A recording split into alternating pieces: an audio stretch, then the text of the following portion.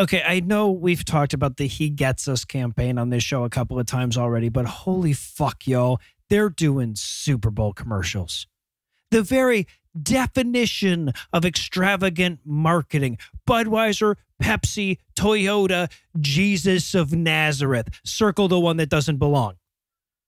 Now, don't get me wrong. I, I kind of appreciate the bold admission that Jesus is just a commodity to be packaged and sold right? I mean, nothing that we ever do on this show is going to dampen the sanctity of Christianity, like wedging it in between an ad for light beer and one for digital bookies. But it's hard not to dwell on the amount of money.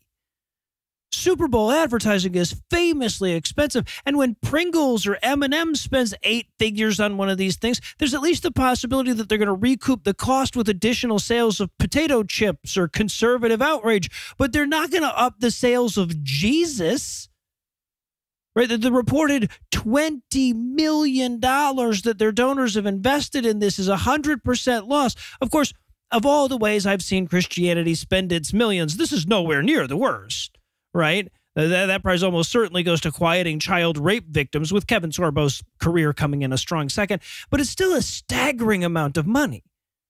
A staggering amount of money, by the way, that almost couldn't help but go to something more productive and less damaging if it were entrusted to any random person.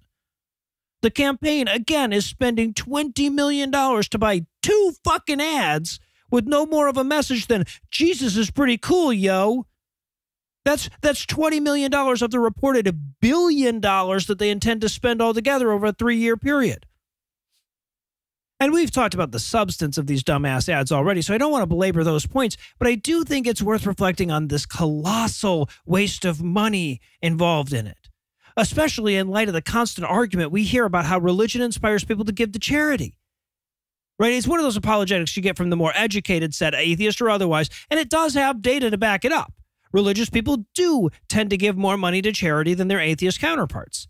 Now, there's a lot wrong with this argument, right? You can dismantle it from a dozen different directions, but few are going to be quite as visible as $20 million worth of prime time advertising, right? Because, see, for every dollar of charity that religion inspires, you got to subtract away every dollar it encourages people to spend on absolutely nothing.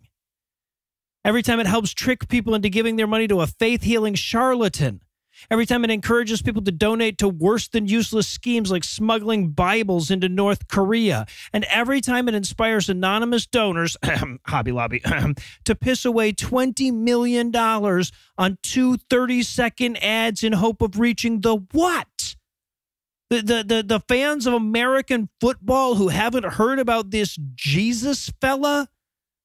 I mean, think about that amount for a second $20 million. Just imagine that somebody handed you a check for $20 million and they asked you to do the most possible good that you could with it. How many homeless people would you keep warm? How many hungry mouths would you feed? How many sick people would you provide with care? I mean, it, would be a hard decision, no doubt. You'd probably stay up all night wondering where best to invest that money. Should it go to education, political activism? Should you split it up and donate to a thousand causes or just give a huge shot in the arm to one?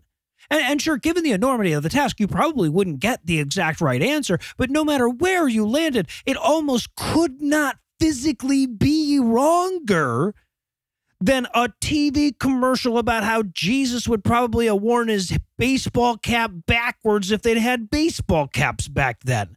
Look, if Jesus was truly the inspirational figure they're selling him as, he'd have inspired them to spend that money on something less stupid. In other words, if the product worked as advertised, the advertisement wouldn't be there.